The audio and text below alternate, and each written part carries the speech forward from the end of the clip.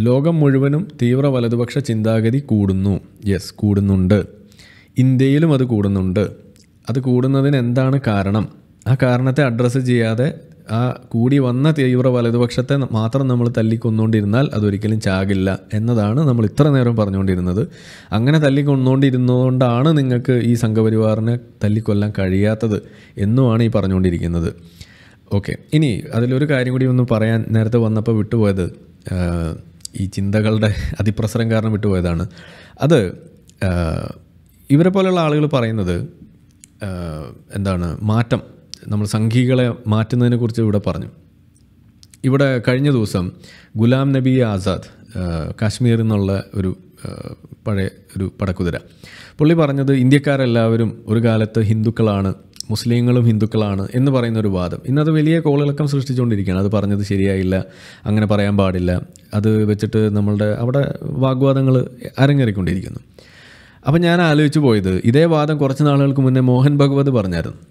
അപ്പോൾ അന്ന് എല്ലാവരും അത് മൈൻഡ് ചെയ്തിട്ട് പോലുമില്ല. കുറേ ആളുകൾ ആ പുള്ളി അങ്ങനെ എല്ലാവരെയും ഹിന്ദു ആക്കാൻ വേണ്ടി നോക്കുന്നു എന്ന രീതിയിലേക്ക് അതിനെ കൊണ്ടു അപ്പോൾ ഇവിടെ എന്താണ് ഹിന്ദു എന്നുള്ളൊരു വാക്ക് അവിടെ ഡിഫൈൻ ചെയ്യപ്പെടേണ്ടി വരുന്നത് അതുകൊണ്ടാണ് ഒരു ചെറിയ ഡെഫിനിഷൻ എന്ന് പറഞ്ഞാൽ ഒരു മനസ്സിലാക്കാൻ എളുപ്പം.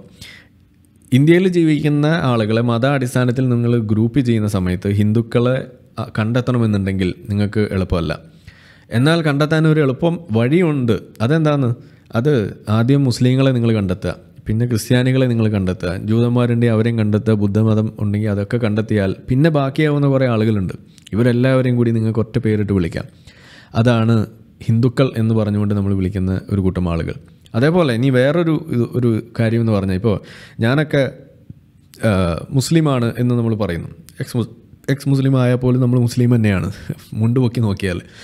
അങ്ങനെയുള്ള സ്ഥിതിക്ക് ഇപ്പം ഞാൻ മിഡിൽ ഈസ്റ്റിൽ പോയിട്ട് ഞാൻ എവിടുന്നാണ് വരുന്നത് എന്നൊക്കെ ചോദിക്കുമ്പോൾ ഞാൻ കഷ്ടപ്പെട്ട് ഇന്ത്യ എന്നൊക്കെ പറയുമ്പോൾ അവരെടുത്ത വഴിക്ക് പറയുക ഓക്കെ അൽ ഹിന്ദ് എന്നാണ് പറയുക. ഇപ്പോൾ നമ്മളുടെ സ്കൂളിലൊക്കെ നമ്മൾ പണ്ട് പ്ലജ് നമ്മൾ പറയാറുണ്ട്. പ്രതിജ്ഞ.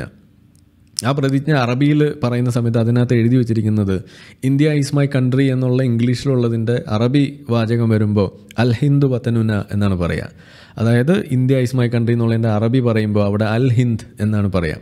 അതായത് ഹിന്ദ് എന്ന് പറയുന്ന വാക്കിലാണ് ഇന്ത്യ അറിയപ്പെടുന്നത്. അതുകൊണ്ട് തന്നെ ഇന്ത്യ ആ ഹിന്ദു അല്ലെങ്കിൽ സിന്ധു നട തീ നദീ തീരത്ത് അല്ലെങ്കിൽ അതിന്റെ ഇപ്പുറത്ത് ജീവിക്കുന്ന ആളുകളെല്ലാവരും അറിയപ്പെട്ടിരുന്നത് പോലും ഈ ഹിന്ദുക്കൾ എന്ന രീതികൾ രീതിയിലാണെന്നൊക്കെ പറയപ്പെടുന്നു. അപ്പോൾ പറഞ്ഞു വരുമ്പോൾ അതൊരു ജോഗ്രഫിക്കൽ ഒരു ഐഡന്റിറ്റി കൂടിയാണ് എന്നതാണ് പറഞ്ഞു വരുന്നത്. ഇതുപോലുള്ള വിഷയങ്ങളൊക്കെ നിലനിൽക്കുകയാണ് ഇതിനെയൊക്കെ കൂട്ടി ഇണക്കിക്കൊണ്ട് ഒരു മാറുന്ന സാഹചര്യത്തിൽ പല രീതിയിൽ അതിനെ എക്സ്പ്ലെയിൻ ചെയ്ത് അതിനെ റീഡിഫൈൻ ചെയ്ത് പ്രശ്നപരിഹാരത്തിന് വേണ്ടിയിട്ട് ആളുകൾ ശ്രമിക്കുമ്പോൾ അതിനിപ്പോൾ മോഹൻ ഭഗവത് ശ്രമിച്ചാലും ശരി അത് ഗുലാം നബി ആസാദ് ശ്രമിച്ചാലും ശരി ഇനിയിപ്പോൾ സാക്ഷാൽ പിണറായി വിജയൻ ശ്രമിച്ചാലും ശരി അതിനെ നമ്മൾ അംഗീകരിക്കുക അതിനെ കൈയടിച്ച് പ്രോത്സാഹിപ്പിച്ച് അതിൽ നിന്നും മുന്നോട്ട് പോവുകയാണ് വേണ്ടത്. അതിന് പകരം അങ്ങനെയല്ല എന്ന് പറഞ്ഞുകൊണ്ട് ഹിന്ദുക്കൾ എന്ന് പറഞ്ഞു കഴിഞ്ഞാൽ അതല്ല അത് പഴയ ഡെഫിനേഷൻ നമ്മൾ എടുക്കണമെന്ന് പറഞ്ഞുകൊണ്ട് അവരെ പഴയ കിതാബുകൾ എടുപ്പിച്ച് പഴയ നിയമങ്ങളിലേക്ക് കൊണ്ടുപോകുന്നുണ്ടെങ്കിൽ അതാണ് അക്രമം. അതാണ് അവിടെ ഈ വിദ്വേഷം കൊണ്ട് നടക്കുന്ന ആളുകൾ ചെയ്യുന്ന ഏറ്റവും വലിയ ദ്രോഹം എന്ന് പറയുന്നത്. അവിടെയാണ് നമ്മൾ ഇവരോട് എതിർക്കുന്നത്. ഇപ്പോൾ മോഹൻ ഭഗവത് പറഞ്ഞ മറ്റൊരു കാര്യം. ഇപ്പോൾ നമ്മൾ ഗ്യാൻ വാപ്പി മസ്ജിദിൽ നടന്നുകൊണ്ടിരിക്കുന്ന വിഷയം. ഒന്ന് ആലോചിച്ച് നോക്കൂ. എന്ത് അടിസ്ഥാനമാണുള്ളത് അതിനൊക്കെ? അതായത് പള്ളിയിൽ ശിവലിംഗം തിരയുന്ന പരിപാടി. മോഹൻ ഭഗവത് പച്ചയ്ക്ക് പറഞ്ഞു അത് ചെയ്യരുത്. നിങ്ങൾ ഈ ഈ അമ്പലങ്ങളിൽ അല്ലെങ്കിൽ പള്ളിയിലൊക്കെ പോയിട്ട് ഈ ലിംഗം തിരയുന്ന പരിപാടി അതൊന്ന് നിർത്തണം. അത് നമുക്ക് അതിൽ നിന്ന് മുന്നോട്ട് പോകേണ്ടതുണ്ട് എന്ന് മോഹൻ ഭഗവത് പറയുമ്പോൾ ഏതെങ്കിലും ഇവിടുത്തെ പ്രധാന മാധ്യമങ്ങൾ അത് വാർത്തയാക്കുന്നുണ്ടോ? അതൊരു ഒരു പ്രധാന വാചകമായിട്ട് കാണുന്നുണ്ടോ? നമ്മളതാണ് ചോദിച്ചു പോകുന്നത്. അപ്പം ഞാനൊരിക്കൽ ഇതുപോലെ എനിക്ക് ഇങ്ങനെയുള്ള സംശയങ്ങൾ ഉണ്ടായിക്കഴിഞ്ഞാൽ നമ്മൾ ആരായാലും വൺ ടു വൺ ഡിസ്കഷനാണ് അപ്പം ഞാൻ സംഘപരിവാറിന്റെ തന്നെ നേതാക്കളായിട്ടുള്ള ആളുകൾ നേരിട്ട് പോയി കണ്ടിട്ട് ഞാൻ നേരിട്ട് ചോദിച്ചിട്ടുണ്ട് നിങ്ങൾ എന്തുകൊണ്ടാണ് ഇതുപോലുള്ള ആശയങ്ങൾ പറയുന്നത്? എന്തുകൊണ്ടാണ് നിങ്ങളുടെ കിതാബിൽ ശത്രുക്കളായിട്ട് എണ്ണിയ കൂട്ടത്തിൽ ഇവിടെ മുസ്ലിങ്ങൾ ക്രിസ്ത്യാനികൾ കമ്മ്യൂണിസ്റ്റുകൾ എന്ന് നിങ്ങൾ എഴുതി വെച്ച സംഗതി?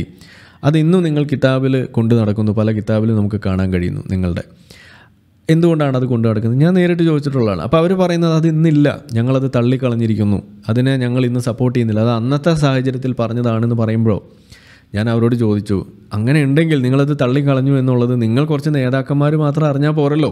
അത് നിങ്ങളുടെ താഴെയുള്ള ഈ ഇറച്ചി കൈ കയ്യിലുണ്ട് എന്ന് പറഞ്ഞു. അതല്ലെങ്കിൽ മുസ്ലിമാണ് എന്ന പേരിലൊക്കെ ആളുകൾ ഐഡന്റിഫൈ ചെയ്തിട്ട് വെടിവെക്കാനും തല്ലിക്കൊല്ലാനും ഓടി നടക്കുന്ന സംഘപരിവാർ പ്രവർത്തകരെ അറിയണ്ടേ? എന്തുകൊണ്ടാണ് നിങ്ങൾ അവരിലേക്ക് അത് എത്തിക്കാത്തത് എന്ന് ചോദിക്കുമ്പോൾ അവർക്ക് ഉത്തരവില്ല. അപ്പോൾ അവരെ അത് എത്തിക്കുക. ആ ആ ആശയങ്ങളെല്ലാം ഈ താഴേക്കിടയിലുള്ള ആളുകളിലേക്ക് എത്തിക്കുക. ഈ വാളെടുക്കാനും വടിയെടുക്കാനും ഓടുന്ന ആളുകളിലേക്ക് അത് എത്തിക്കാത്ത കാലത്തോളം മുകളിൽ കിതാബിൽ എന്ത് മാറ്റം ഉണ്ടായി എന്ന് പറഞ്ഞിട്ട് എന്താ കാര്യം? നേതാവ് എത്ര മാറ്റി പറഞ്ഞിട്ടും എന്താ കാര്യമുള്ളത്? അപ്പോൾ അത് എത്തേണ്ട അടുത്ത് അത് എത്തുന്നില്ല എന്നുള്ളത് അവരെ ബോധിപ്പിച്ചിട്ടുണ്ട്. അവരെ അറിയിക്കേണ്ട പോലെ നമ്മൾ അറിയിച്ചിട്ടുണ്ട്. അവരോട് പറ്റാവുന്ന സാഹചര്യങ്ങൾ ഇനിയും പറഞ്ഞുകൊണ്ടിരിക്കുന്നുള്ളതാണ് അതിനെന്താ ചെയ്യേണ്ടത്? സംഘപരിവാറുകാരനെ കാണാനുള്ള ഒരു അവസരം ഉണ്ടാവും. ഇല്ല ഞാൻ സംഘപരിവാറുകാരനെ കാണില്ല. ഞാൻ വൺ ടു വൺ ഡിസ്കഷന് പോകില്ല. എന്ന് പറഞ്ഞ് ഞാൻ മാറി നിന്നാൽ ഇതെനിക്ക് പറയാൻ കഴിയും. ഇതെനിക്ക് അവരോട് ചോദിക്കാൻ കഴിയും. അവിടെയാണ് നമ്മൾ ഈ പറയുന്ന ഇതുപോലുള്ള വിഷയങ്ങൾ വരുമ്പോൾ അവിടെ നിങ്ങൾ ഗോൾവാക്കറിന്റെ പുസ്തകം പണ്ട് ഇടത്തെ കൈ കൊണ്ട് തൊട്ടിട്ടുള്ള ആളുകളാണ്. അതുകൊണ്ട് നിങ്ങളെ ഞാൻ ഒരിക്കലും ഒരു മനുഷ്യനായിട്ട് പോലും കാണില്ല എന്നൊക്കെ പറയുന്ന തരത്തിലേക്ക് പോകുമ്പോൾ ഇതിനെ പച്ച വിദ്വേഷം എന്നുള്ളതല്ലാതെ നിങ്ങൾ വിദ്വേഷ പ്രചാരകൻ എന്നുള്ള റോളിലല്ലാതെ നിങ്ങളെയൊക്കെ എന്ത് അടിസ്ഥാനത്തിലാണ് സ്വതന്ത്ര ചിന്തകനെന്നോ അല്ലെങ്കിൽ യുക്തിവാദി എന്നൊക്കെ നമുക്ക് വിളിക്കാൻ കഴിയുക? ഒരിക്കലും വിളിക്കാൻ കഴിയില്ല. അതാണ് ഞാൻ പറഞ്ഞത്. ഞാൻ പറയുന്നത് അതാണ്. ഇവിടെ ഇനി താലിബാന്റെ മുല്ല ഒമർ വന്നിരുന്നാൽ പോലും അല്ലെങ്കിൽ ഇനിയിപ്പോൾ ഒസാമ ബില്ലാദൻ വന്നിരുന്നാലും ബാഗ്ദാദി വന്നിരുന്നാലും നമുക്ക് പറയാനുള്ളത് തന്നെയാണ്. ഏത് വലിയ കൊലകൊമ്പൻ താലിബാനിയാണെങ്കിലും നമുക്ക് അവരോട് ചോദിക്കാനുണ്ട്. നിങ്ങൾ ഈ പറയുന്ന ഈ പ്രവൃത്തികൾ ചെയ്യുന്നതിന്റെ ഭാഗമായിക്കൊണ്ട് ഇവിടുത്തെ പ്രശ്നം അത് നേരിടേണ്ടി വരുന്ന സാധാരണ മുസ്ലിങ്ങളാണ്. നിങ്ങൾക്കത് അവസാനിപ്പിച്ചു കൂടെ എന്ന് നമ്മൾ ചോദിക്കും. നിങ്ങൾ ആ പറയുന്ന സംഗതികൾ ഇന്നത്തെ കാലത്തിന് അനുയോജ്യമല്ലെങ്കിൽ അത് എടുത്തു മാറ്റുന്ന രീതിയിലോ അല്ലെങ്കിൽ അത് അത് ഇന്ന് ഇന്നത്തേക്കുള്ളതല്ല എന്നോ ഒരു പബ്ലിക് ഒപ്പീനിയൻ നിങ്ങളുടെ ഭാഗത്ത് നിന്ന് വരേണ്ടതില്ലേ എന്ന് പറയേണ്ടി വരുന്നതാണ് അത് ചോദിക്കേണ്ടത് നമ്മൾ അവിടെ പോയി ചോദിക്കേണ്ട സമയത്ത് ചോദിക്കാതെ ഇവിടെ ഇരുന്ന് നമ്മളുടെ എക്കോ ചേമ്പറിൽ ഇരുന്ന് പറഞ്ഞുകൊണ്ട് എന്താ കാര്യമുള്ളത്? ഇതാണ് ഈ പറയുന്ന ആളുകൾക്ക് അത് മനസ്സിലാകാത്തത്. അത് നമുക്ക് പറയാൻ ഇതുപോലുള്ള വേദികൾ കിട്ടുമ്പോൾ അത് അവിടെ ചെന്നല്ലേ പറയേണ്ടത്? അത് പറയാൻ നമുക്ക് സാധിക്കുന്നില്ല. പറയേണ്ട വേദികൾ ഇവർ ഉപയോഗപ്പെടുത്തുന്നില്ല എന്നുള്ളതാണ്. അപ്പോൾ നമുക്കത് ലഭിക്കുമ്പോൾ നമ്മളത് പറയുമ്പോൾ ഇവർക്കത് വലിയ ഒരു ഒരു എന്തോ വലിയ അത് മനസ്സിലാക്കാൻ പോലും സാധിക്കുന്നില്ല എന്ന് വരുമ്പോൾ അതിനോട് നമുക്കൊന്നും പറയാനില്ല. ഏതായാലും സമാനമായ ചിന്താഗതി കൊണ്ടു നടക്കുന്ന എല്ലാ ആളുകളോടും കൂടിയാണ് ഞാൻ ഈ പറയുന്നത്. അതല്ല അതിന്റെ രീതി. വേദികൾ അത് കിട്ടിയാൽ ഉപയോഗിക്കേണ്ടത് അവർക്ക് വേണ്ടി സംസാരിക്കുന്നതിന് പകരം നമ്മൾ മുന്നോട്ട് വെക്കുന്ന ആശയം അവരിലേക്ക് എത്തിക്കുന്നതിന് വേണ്ടിയിട്ട് അതിനുവേണ്ടി ശ്രമിക്കുക എന്നുള്ളതാണ് നമ്മളവിടെ പറയുന്നത്. അതിനു വേണ്ടിയിട്ടുള്ള വേദികൾ പരമാവധി ഉപയോഗപ്പെടുത്തുക കണ്ടെത്തുക എന്നുള്ളതാണ് നമ്മൾ പറഞ്ഞുകൊണ്ടിരിക്കുന്നത്. അപ്പോൾ മോഹൻ ഭഗവത് പറഞ്ഞതായാലും ഗുലാം നബി ആസാദ് പറഞ്ഞതായാലും ഇതെല്ലാം നമ്മൾ കാണേണ്ടത് ഒരു ട്രൂത്ത് ആൻഡ് റീകൺസീലിയേഷൻ എന്ന് പറയുന്ന ഒരു ആശയത്തിന്റെ ഒരു ഭാഗമായിട്ടാണ് ഞാനത് കാണുന്നത്. സംഭവിച്ചത് സംഭവിച്ചു. ഏതുപോലെ? നിങ്ങൾ ഈ പള്ളിയിൽ ശിവലിംഗം അന്വേഷിച്ച് തുടങ്ങിയാൽ ഏത് പള്ളിയിൽ വരെ അന്വേഷിക്കേണ്ടി വരും? അങ്ങ് മക്കയിലിരിക്കുന്ന കഅബയുടെ അടിയിൽ പോലും നിങ്ങൾക്ക് വിഗ്രഹം കാണാൻ കഴിയും. കാരണം കഅബ പിടിച്ചെടുക്കുന്ന സമയത്ത് അതിനകത്ത് മുന്നൂറ്റി അറുപതോളം വിഗ്രഹങ്ങളുണ്ടായിരുന്നു. ആ വിഗ്രഹങ്ങളെ തച്ചുടച്ച് തുടങ്ങിയത് ആരാണ്? മുഹമ്മദ് നബിയാണ്. സ്വന്തം കയ്യിലിരിക്കുന്ന വടി എടുത്തിട്ട് അതിനെ തല്ലി താഴെ ഇട്ടിട്ട് തച്ചുടക്കട ഇതിനൊക്കെ എന്ന് പറഞ്ഞിട്ട് അതിനെ തല്ലി ഉടയ്ക്കാൻ ആഹ്വാനം ചെയ്തത് മുഹമ്മദ് നബിയാണ് അതൊരു ഒരു വിഗ്രഹാരാധകരുടെ ഒരു ആരാധനാലയമായിരുന്നു.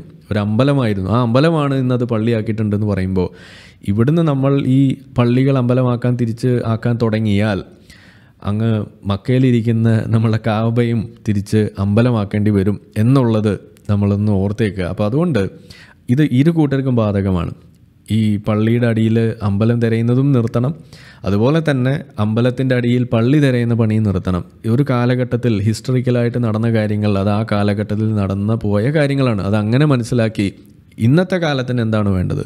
അതിന് വേണ്ട കാര്യങ്ങളുമായിട്ട് മുന്നോട്ട് പോയില്ല എന്നുണ്ടെങ്കിൽ നിങ്ങൾ ഈ ലിംഗം തിരഞ്ഞ് നടക്കുന്ന ആളുകളായിട്ട് മാറും എന്ന് തന്നെയാണ് എനിക്ക് പറയാനുള്ളൂ. ഒരിക്കലും ഒരു രാജ്യം എന്ന രീതിയിൽ ഒരു പുരോഗമനം കൈവരിക്കുന്ന രീതിയിലേക്കുള്ള ആക്ടിവിറ്റീസിൽ നമുക്ക് ഫോക്കസ് ചെയ്യാൻ കഴിയില്ല. ഗവൺമെന്റ്സിന്റെ പ്രധാന പണി കോടതികളുടെയൊക്കെ പ്രധാന പണി എന്ന് പറയുന്നത് ഈ ലിംഗത്തിന്റെ കാര്യം തീരുമാനമാക്കലായിട്ട് മാറും എന്നുള്ളതാണ്. അത് പുറത്ത് അറിയേണ്ട വിഷയമായിരുന്നു. അത് ഒരു ഇവിടുത്തെ മാധ്യമങ്ങൾ കാര്യമായിട്ട് റിപ്പോർട്ട് ചെയ്തിരുന്നു എന്നുണ്ടെങ്കിൽ ഒരു നാല് സംഘപരിവാറുകാരൻ അത് അറിഞ്ഞു എന്നുണ്ടെങ്കിൽ അതിലൊരുത്തൻ ഏതെങ്കിലും ഒരുത്തന്റെ ഏതെങ്കിലും മുസ്ലിമിന്റെ പെരടിക്ക് വെട്ടാൻ ഇങ്ങനെ കൈ ഓങ്ങി നിൽക്കുന്ന സമയത്താണ് ഇങ്ങനെ പറഞ്ഞത് അറിയുന്നത് എന്നുണ്ടെങ്കിൽ അവൻ കത്തി താഴെയിടും. ഇതാണ് ഞാൻ പറയുന്നത്. അപ്പോൾ അതിന് വേണ്ടത് എന്താണ്? ഇതുപോലുള്ള ആശയങ്ങൾ അത് മാറ്റത്തിന്റേതായിട്ടുള്ള ആശയങ്ങൾ പ്രധാനമായിട്ടും. അത് കൂടുതൽ ആളുകളിലേക്ക് എത്തിക്കാനുള്ള അവസരങ്ങൾ അത് നമ്മൾ പരമാവധി ഉപയോഗപ്പെടുത്തണം. അത് അത് പ്രചരിപ്പിക്കണം എന്നതാണ് ഞാൻ പറഞ്ഞു വരുന്നത്. അത് മോഹൻ ഭഗവത് പറഞ്ഞതായാലും ഗുലാം നബി ആസാദ് പറഞ്ഞതായാലും ഒരേപോലെ കാണേണ്ട കാര്യമാണ് എന്നാണ് ഈ പറഞ്ഞു വെച്ചത്. പുസ്തകത്തിലുള്ളത് അന്നും ഇന്നും നേതാക്കന്മാരൊക്കെ അറിയൂ സാധാരണക്കാർക്ക് അറിയില്ല. ഓക്കെ. സാധാരണക്കാർക്ക് അറിയുന്നുണ്ട്. അറിയുന്നത് ഏതെന്ന് ചോദിച്ചു കഴിഞ്ഞാൽ ഇപ്പോൾ സ്വാധി പ്രാച്ചിയെ പോലെയുള്ള ആളുകൾ അല്ലെങ്കിൽ ഇതുപോലെയുള്ള ഈ ഹെയ്റ്റ് പ്രസംഗങ്ങൾ നടത്തുന്ന ആളുകൾ അവർ വന്നിട്ട് ഇതൊക്കെ വെച്ച് വലിയ പ്രസംഗം നടത്തും.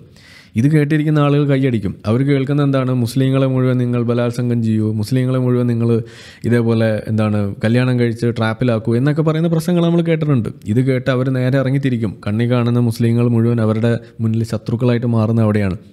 അവിടെ നമ്മളിത് പറയുമ്പോൾ ആ വശത്ത് മാത്രം നിന്നു പോകുന്നു. ഇതാണ് ഞാൻ പറയുന്നത്. അതിന് പകരം ആ പ്രശ്നം തുടങ്ങിയതിന്റെ അങ്ങേ അറ്റം വരെ പോകേണ്ടി വരും. അവിടെയാണ് നമ്മൾ ഈ പറയുന്ന ന്യൂനപക്ഷ വർഗീയതയും ചർച്ചയാക്കണം എന്ന് പറയുന്നത്.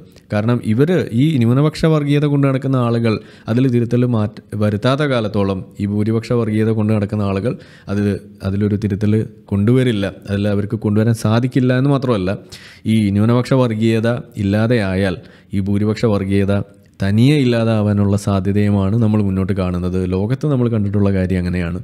അത് തിരിച്ചിപ്പോൾ നടന്നുകൊണ്ടിരിക്കുന്നത്. മീൻസ് ഈ ഭൂരിപക്ഷ വർഗീയത വളർന്നുകൊണ്ടിരിക്കുന്നത് പോലെ നമുക്ക് കാണാൻ കഴിയും. പക്ഷേ ഒരു ഘട്ടം കഴിഞ്ഞാൽ വളരെ കോംപ്ലക്സ് ആയിട്ടുള്ള ഒരു സംഗതിയായിട്ട് മാറും. പല എലമെന്റ്സ് ഇതിനകത്തേക്ക് വരും. അപ്പോൾ അത് നമ്മൾ പറയുന്ന സങ്കീർണത കൂടുന്തോറും ഇത് പരിഹരിച്ച് താഴോട്ട് വരാനുള്ള ആ ഒരു സാധ്യതയും അവിടെ കൂടുതൽ ദുർഘടമായിട്ട് മാറുകയാണ് ചെയ്യുക. വലിയ തടസ്സമായിട്ടാണ് നമുക്കത് കാണാൻ കഴിയുക.